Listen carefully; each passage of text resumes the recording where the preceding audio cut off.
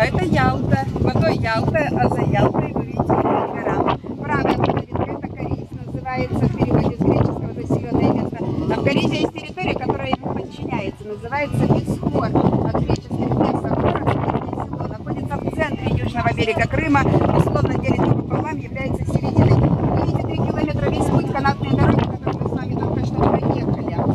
Средняя станция в Английске, где вы билеты отдали. Мои хорошие, еще вам два слова про канатную дорогу, что экскурсовод не сказала. Второй участок, протяженность была 1670 метров. Это самая длинная в Европе безопорная канатная дорога, занесена в книгу рекордов Гиннесса. И уникальность канатной дороги в угле подъема возле гор 46 градусов. Вот э, есть Венесуэле 48 градусов, 46 вот это на втором месте по градусам дорога. На правую сторону, вот туда за скалой, это Алупка от греческого Алупи, Калисина, рана, лисица. И Ялта. Давайте у нас еще лучше.